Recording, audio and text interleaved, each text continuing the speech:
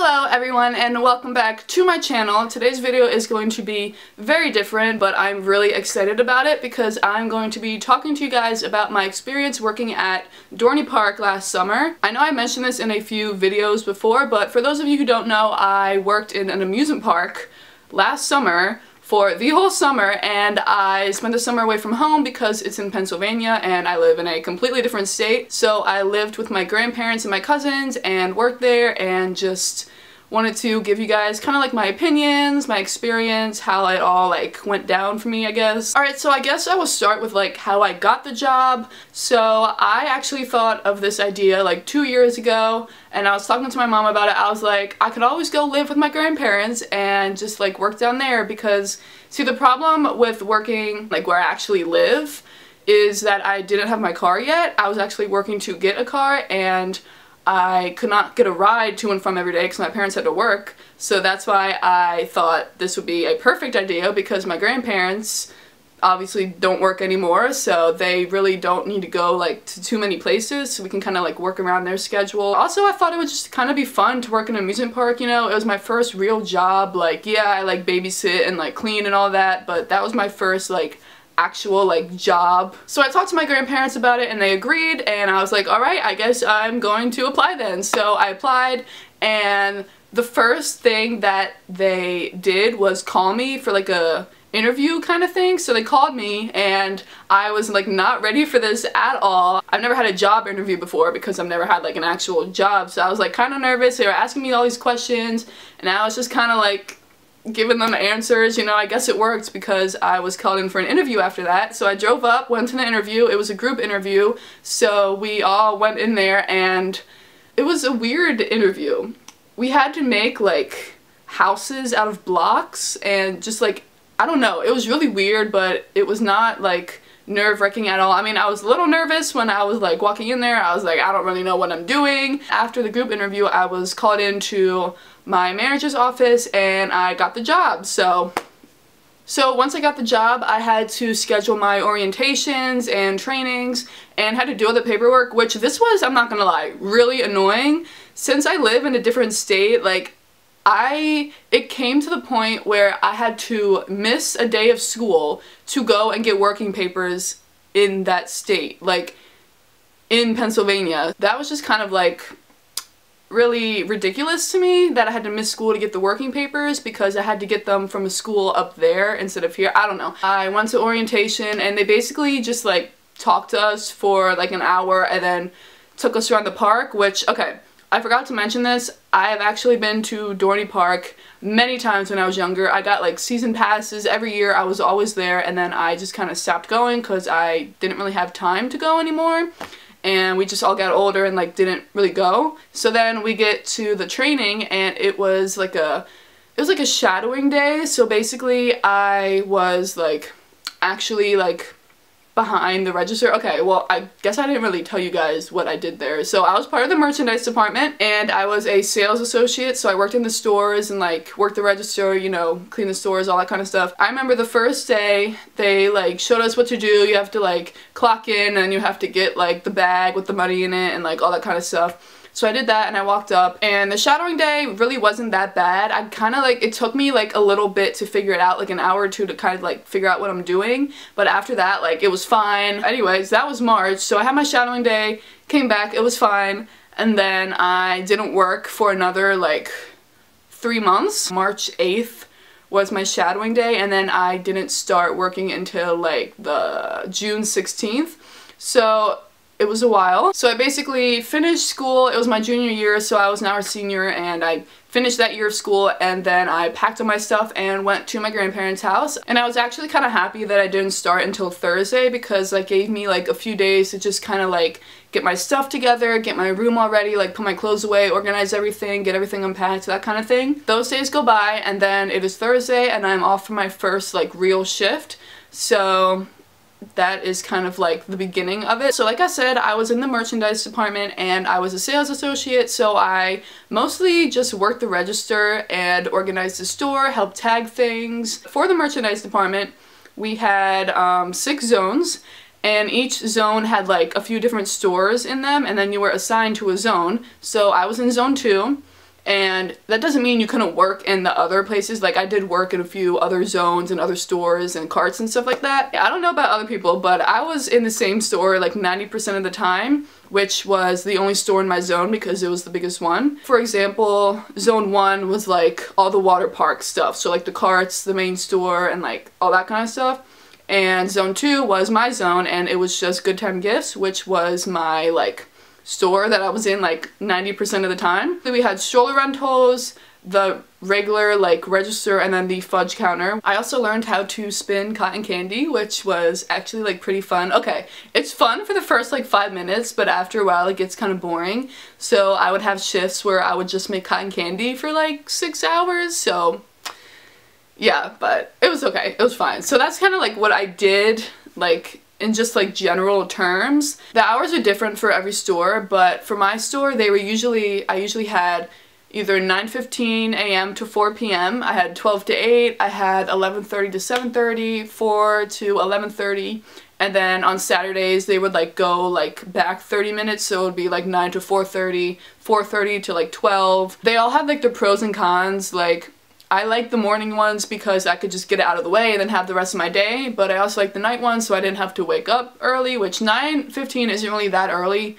but I had to kind of get there earlier so I can like check in and all that. On to pay, I did not get paid very much. I got $8 an hour, which is actually lower than the, um, what do you call it, minimum wage in my state. My state, I believe it was 825 I, I don't know if it changed or not, but back then it was 8.25 and then in Pennsylvania it was 7.25 so it was more than minimum wage there. I was expecting a little bit more because, you know, the my minimum wage is different, but anyways, it was fine. It like adds up because I got a lot of hours. I was also at like the lowest like position, so I didn't really get paid that much, but it was my first year, so I couldn't like, you know, move up right away because I didn't really know what I was doing yet. Speaking of the positions, I was, like I said, the low one, and then the next one up was a team lead, and then supervisor, operational supervisor, and then like the manager. Okay, so now on to scheduling. So we used When to Work, which is an online like website that is a scheduling website for you know, like companies like that. I really enjoyed When to Work. It was really easy. I could just go on, see all of my shifts, and then there was a bunch of different like things you can do on there, but my favorite was the trade board because if I couldn't work a shift or I would if I like had something to do Saturday night and I had a shift Saturday night, then I could trade it or drop it for something like Saturday morning. There was always something that you could trade for. Everyone posted their shifts. There was so many shifts on there and you could either like train them, drop them, or do both uh, so people can like choose which one if they just want to take it or if they want to trade you one. It was just really easy and convenient to like kind of like make it make the schedule fit your own schedule so yeah, A plus for when to work. okay, so now on to like discounts and perks. So they offered a lot of different things that I thought were really great. First of all, you get into the park for free whenever you want. So I mean, that's good. And then not only that, but you also get into all of the other Cedar Fair parks for free. They also gave you a few free like tickets for your family members, friends, whoever you wanted to bring. Oh, they also gave you, I think it was 25% off anything in the park. They also had just like a lot of like random discounts for like stores around that area. Okay, so now on to my favorite part of this whole experience, and that was making so, so many new friends and just really awesome people. Since I was coming from a whole different state, a whole different area, I did not know one person in the whole park. I didn't know anybody. I was a little bit nervous because like I didn't know anyone but I was also really excited because I knew that I would meet so many more people, so many new people. I love meeting new people. I think it's great and I just I just love like having okay this is like kind of weird but I love having friends in so many different places but then it kind of sucks because wherever I am I'm like always missing someone so I made so many friends in Dorney. I still talk to them every single day. I miss them so much. Like I haven't been able to go back to Pennsylvania to see them in like months and I just miss them so much. So that kind of sucks but the fact that I met them and I was able to like do fun things with them and like that kind of thing was really great. So I'm so happy that I met all of you guys. So if any of you guys are watching this, like, shout out to you all. Like, I love you guys. and I thought it was just so cool because I met people that were 14 and I met people that were, like, I don't know, like 60, 70, like that kind of thing. It was just like unbelievable. So kind of like that variety of people that I met, it was just like so incredible to me. So now we are going to talk about the guests, which, okay, I've had so many guests like yell at me, um, just very, I don't know how to put this in a nice way. They were mean sometimes, okay? They were mean, and yes, okay, I did have a lot of nice customers which were understanding when there was a problem and I was trying to fix it for them. So there were a lot of nice guests, like don't get me wrong, the people there were really sweet, but there were some people who just pushed my buttons a little too far. And before you assume anything, no, I never said like anything mean to any of them.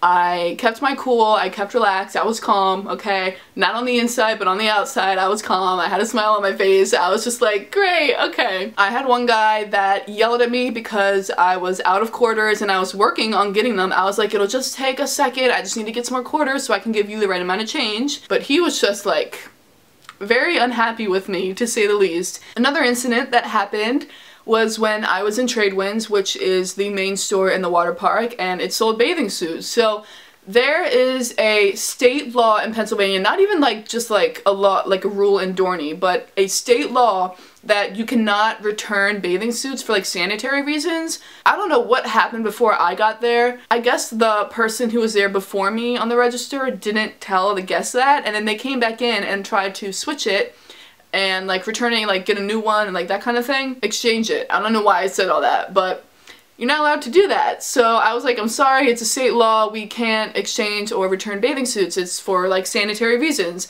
And he got so mad at me. I called my supervisor, had him come over, and then he told him the exact same thing that I did. And this guy was just like furious, right? So he just threw the bathing suits, like, he like hit me in the head with them. like skimmed across my head. And I mean, it was just a bathing suit, so it wasn't a big deal, but like, it skimmed across me into the trash can and I was just like, oh my god. That job really taught me some self-control. Let me tell you guys, just... This is like for any job. This isn't just for Dorney. Like this is for any job people are going to be mean to you and you just have to have a tough skin especially at Dorney because okay I understand where they're coming from. I do. They paid a lot of money to be in the park and they want everything to go their way because you know why wouldn't you? If I spent that much money to go to a park then I wouldn't want to be you know having the best day of my life. So yeah I, I do understand them. I understand where they're coming from but they just really like got on my nerves sometimes, not gonna lie. They're not yelling at you personally, they don't mean those things towards you. You just have to realize that. So Dorney offered a lot of incentives and like contests. We had this one where it's like a fudge fest kind of thing. I think that's what it was called, where whoever sold the most fudge would get like, you know, free fudge for a month or something like that. Okay, so I'm gonna tell you guys the worst thing about working at Dorney right now, and that is the fact that I was a minor. I have worked all day before, like, I can work all day, it's no big deal to me, like, it's tiring, yeah, I'll admit that, but you know, like, minor labor laws were the worst thing to me out of the whole experience, I think. So I could work 8 hours a day for 5 days a week, and that is like the maximum that I can work. If I go over, then that's like a violation, so I had to do that. So that means I couldn't work all day, and okay, I, I sounds so dumb, like, oh my god, I couldn't work all day long, I'm so mad. But honestly, I was there to work and I like enjoyed it. Like I thought it was fun. There was always something to do, which is why I liked it because I was never bored and the shifts went by really fast. And that's not Dorney's fault at all. Like that is not their decision. Like that's just like the law. Since I didn't have my car and had to be dropped off, they don't let you get dropped off at the bottom of the park, which is where I have to check in. So I had to get dropped off at the top, walk all the way down, get checked in, then walk all the way back up. And then for break, I walked down and up again, and then when I had to get picked up, I walked down and up again because they had to pick me up at the top. So that was kind of annoying, especially when I was on crutches.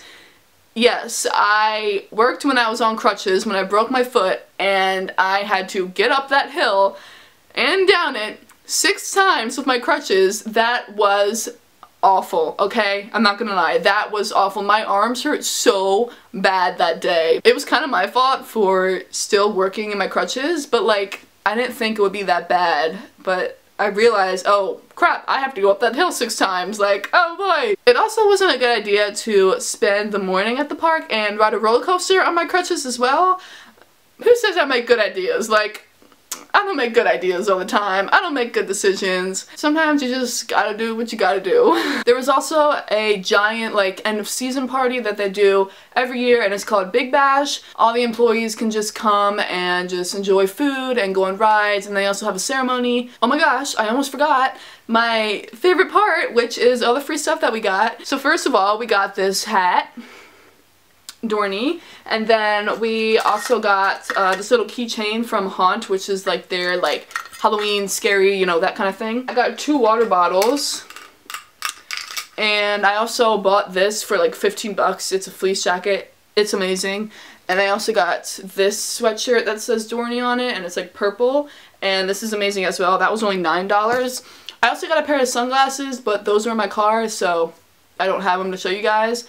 But all the free stuff was nice, so yeah, I love it. Soon the season ended and my last day was November 5th, which was like the cleanup day, and that was my last day working, and then I processed out after that and turned in my uniform, turned in my ID, and I was done. So that was my experience working at Dorney Park. I told you guys kind of like the big things because there was a lot that happened. Overall, it was an incredible experience, incredible. I'm so glad that I decided to do it. I met so many new friends.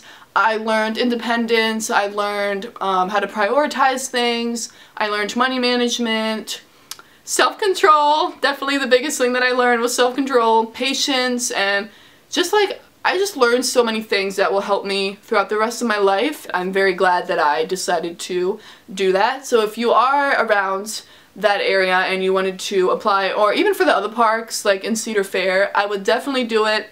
It is a great experience. I do have to admit, I can't leave this out.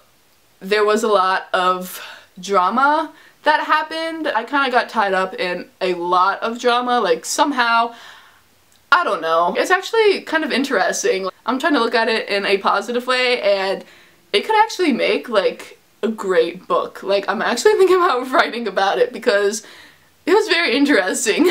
so yeah, that concludes this video. Like I said, I did leave out a lot of things because there was just so much that went into this job but I'm actually not returning next year. 99% of people stay there for at least like more than a year, more than a season. I am just a rare case. I'm one and done. And that's not because of anything bad that I mentioned in this video. It's just because I'm going to college and the way that it all works out, I would only be there for like a month and a half and it's just not really worth it to me. All of that, like driving down there, packing and all that, just for that short amount of time. So that is why I'm not doing it again. If I could, I definitely would. If you are applying to there, don't be nervous. It really was not anything to get nervous about or just like think about or worry about. It really wasn't. So if you're applying, do it. If you're thinking about applying, do it because it was a great experience. So yeah, that is it for this video. I feel like this video is going to be 20 minutes long, but I'm sorry, I just had a lot to say, and I tried to cut it down as much as I could, so I hope you guys liked this video. Give it a thumbs up, and I will talk to you guys in my next video. Bye!